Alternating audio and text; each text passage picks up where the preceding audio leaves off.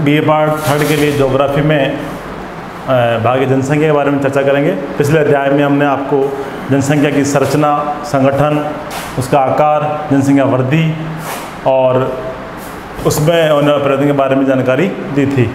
आज हम जो चर्चा करेंगे वो जनसंख्या घनत्व मैंने कल बताया था कि प्राकृतिक वृद्धि के दो कारण हो सकते हैं। एक कारण हो सकता है आपका प्राकृतिक मतलब नेचुरल जन्म दर मृत्यु से अधिक होती है, वो प्राकृतिक वृद्धि कहलाती है और प्रवासी वृद्धि होती है, जिसमें किसी क्षेत्र में या किसी प्रदेश में रोज़गार के कारण या किसी महामारी या किसी प्राकृतिक कारणों के कारण मनुष्य वहाँ से प्लान करके ऐसे क्षेत्र जहाँ पर रोज़गार मिले, कृषि उपजाऊ भूमि हो, नगरीकरण व्यवस्था हो, उद्योग धंधे हो, वहाँ मनुष्य आकर बस जाता है, वहाँ जनसंख्या बढ़ जाती है। ऐसे देशों में, ऐसे राज्यों में जनसंख्या में घनत्व में वृद्धि हो जाती है। तो वो कहलाती प्रवासी, प्रवास वृद्धि आज करते हैं जनसंख्या घनत्व के बारे में बात।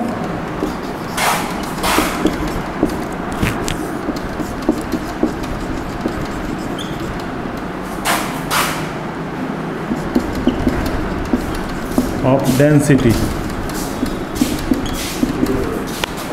जनसंख्या घनत्व जनसंख्या की रेंज जनसंख्या घनत्व बात। के बारे में बात कर रहे हैं तो भारत की जनसंख्या घनत्व के बारे में अपन इस बारे में चार बात करेंगे।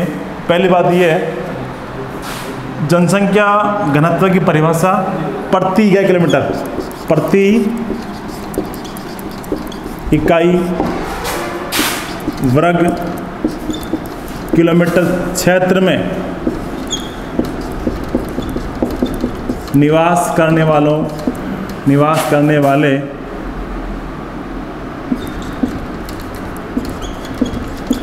लोगों की संख्या।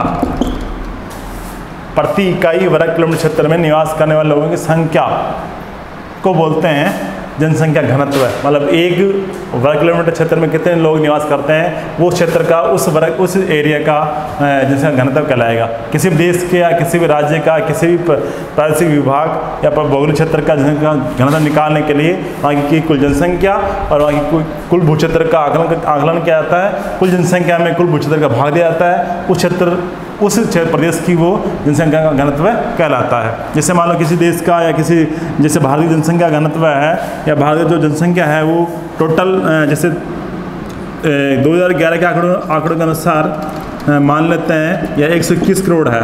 एक सौ इक्कीस करोड़ और ज़ीरो लाख मान लो, लाख जनसंख्या है। और जनसंख्या क्षेत्रफल है इसका बत्तीस लाख, यानी इकतीस पॉइंट सात लाख वर्ग किलोमीटर। इकतीस पॉइंट सात लाख वर्ग किलोमीटर। तो ये इसका एरिया है और इसके ये जनसंख्या है, इसको घनत्व निकालते हैं तो इसका आता है तीन सौ बयासी व्यक्ति प्रति वर्ग किलोमीटर। प्रति वर्ग किलोमीटर।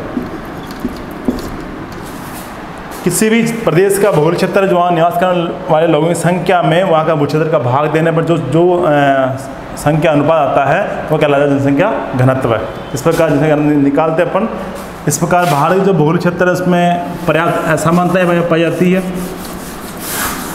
जिस कारण भारत में अनेक अनेक राज्य, प्रत्येक राज्य में, अनेक राज्यों में, सभी राज्यों में जनसंख्या घनत्व में अंतर पाया पाया जाता है। कई क्षेत्र ऐसे हैं जहाँ पर वहाँ की जलवायु या मानव के लिए प्रतिकूल होती है और उच्चावच भिन्नता हो सकती है, कृषि उपजाऊ भूमि नहीं हो सकती है, या पथरीला धरातल हो या दलदली भूमि हो, उन क्षेत्रों में जनसंख्या घनत्व कम पाया जाता है, उसकी अपेक्षा जहाँ पर, जहाँ के धरातल समतल है, मैदानी भाग है कृषि योग्य भूमि है, या औद्योगिक विकास के लिए पर्याप्त संभावना है, संभावनाएँ पाई जाती है नगरण की व्यवस्था पाई जाती है, व्यवसाय के लिए रोज़गार के साधन सुलभ हो जाते हैं, उन क्षेत्रों में जनसंख्या ज़्यादा निवास करती है। जनसंख्या के ऊपर का जो है घनत्व चार भागों में बांट सकते हैं अपन से आकलन करने के लिए। एक तो होता है इसका पहला अंगणितीय। जनसंख्या घनत्व है।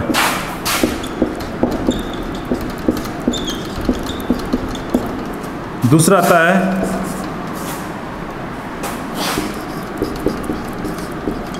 कायिक या पोषण घनत्व है। तीसरा है कृषि घनत्व है। और चौथा है।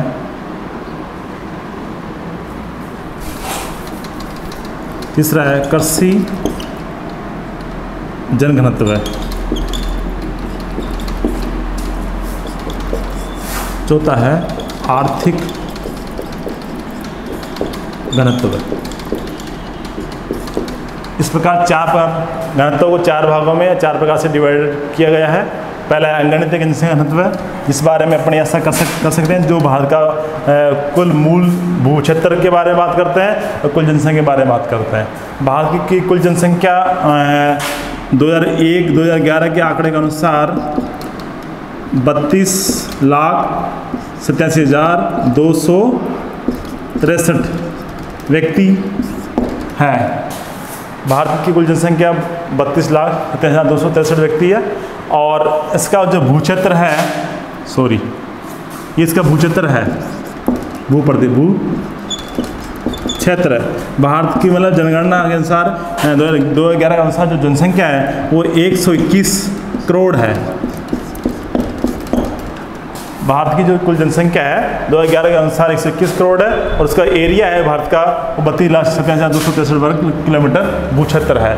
अब इस क्षेत्र में कई वर्ग, कई भू क्षेत्र ऐसे हैं जो पाकिस्तान का अधिकृत है, कोई चीन का अधिकृत है, इधर बांग्लादेश या इधर म्यांमार का अधिकृत है। ऐसे कुल मिलाकर कुछ प्रदेशों को न जोड़कर देखा जाए तो इकतीस इकतीस पॉइंट ज़ीरो सात लाख किलोमीटर एरिया भारत के पास अधिकृत है या भारत के प्रेजेंट टाइम इसमें अधीन है।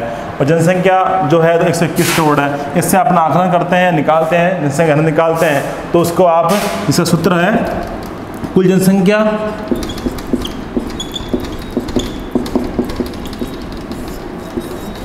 बटा कुल भू क्षेत्र भू क्षेत्र। अंगणित घनत्व है। अंगणितीय।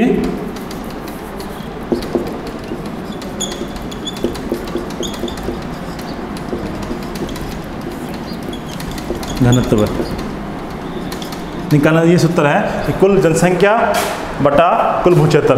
इसके कुल निकालेंगे अपन तो इसका 121 करोड़ बटा जनसंख्या, नीचे आएगा भूक्षेत्र। इकतीस ज़ीरो सात ज़ीरो एक।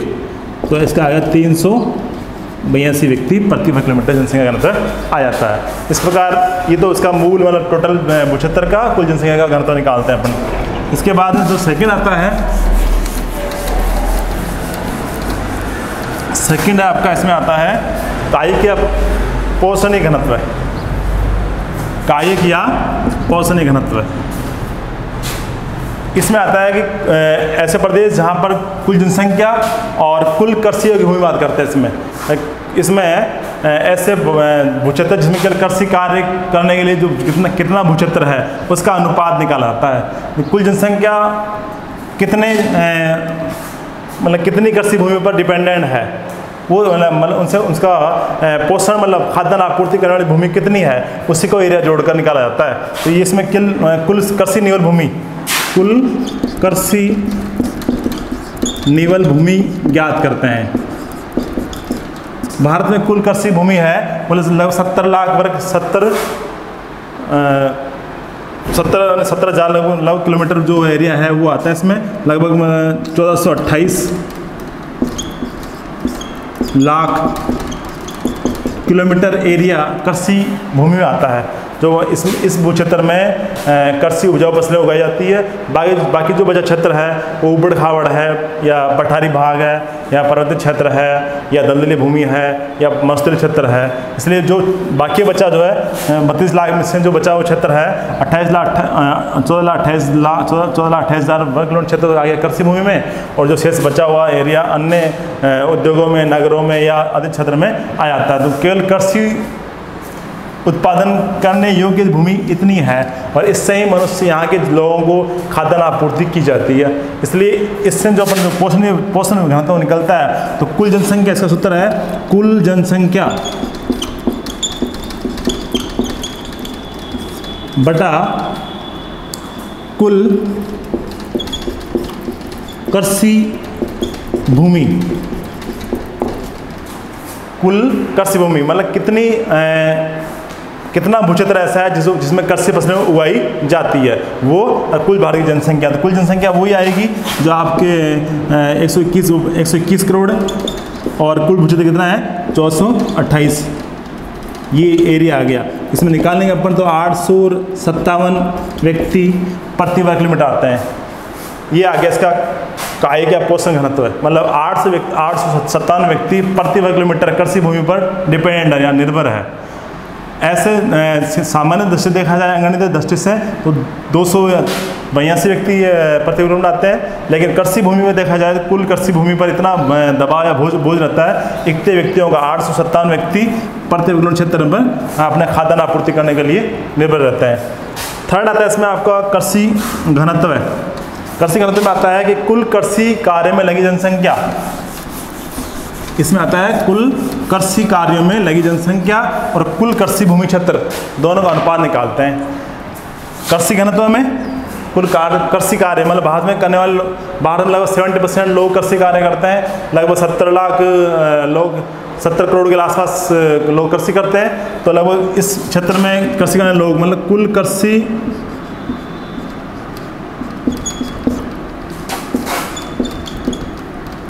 कृषि कार्य में लगे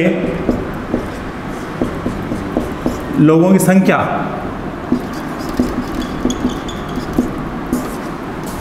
भारत में कुल कितने लोग ऐसे हैं जो कृषि कार्य में संलग्न है, लगे हुए हैं? उनकी बात, और कुल कितना भूक्षेत्र है? भू क्षेत्र है जो कृषि में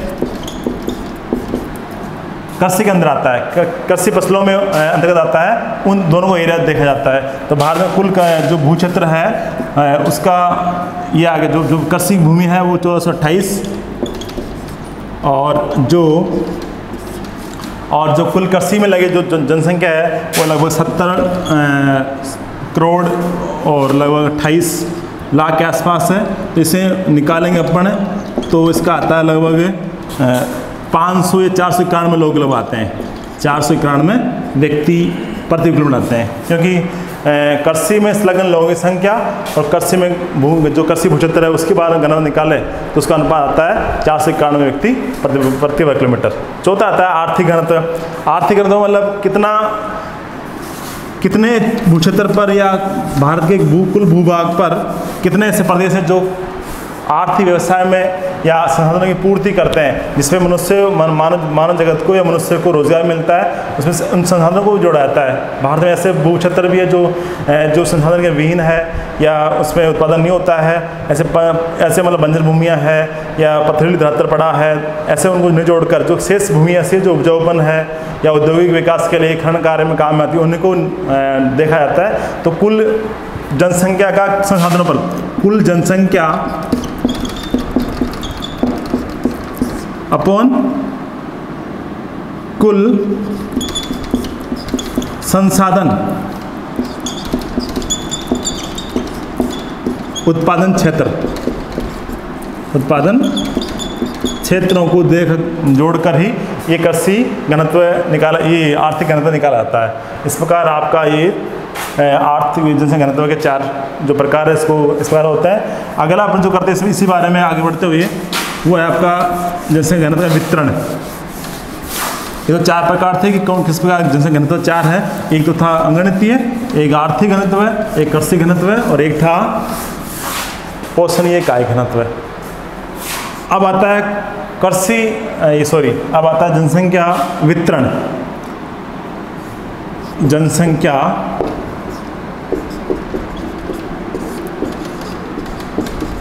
घनत्व। का वितरण।